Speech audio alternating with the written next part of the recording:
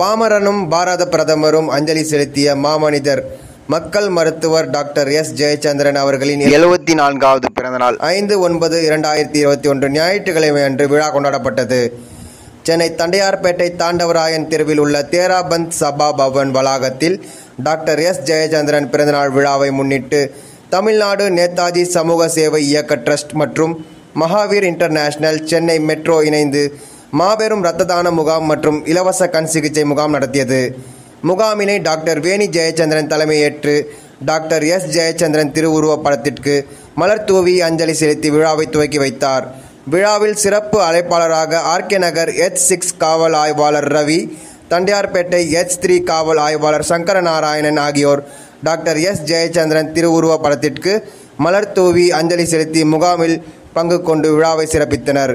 முகாமில் பொதுமக்களுக்கு இலவசமாக கண் பரிசோதனை மற்றும் இரத்த தான முகாமில் சேகரிக்கப்பட்ட இரத்த வகைகள் அனைத்தும் அரசு ஸ்டான்லி மருத்துவமனைக்கு வழங்கப்பட்டது.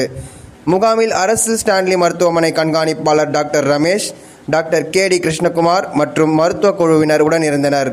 முகாமினை தமிழ்நாடு நேதாஜி சமூக சேவை இயக்கம் ட்ரஸ்ட் தலைவர் டாக்டர் ஜே சரத்ராஜ் பொதுச் செயலாளர் எஸ் வன்னியராஜன் பொருளாளர் கே ஜி பாலன் மற்றும் டாக்டர் சரண்யா விசாகபதி ரமேஷ் சரவணன் பாலாஜி ஆகியோர் ஏற்பாடு செய்திருந்தனர்.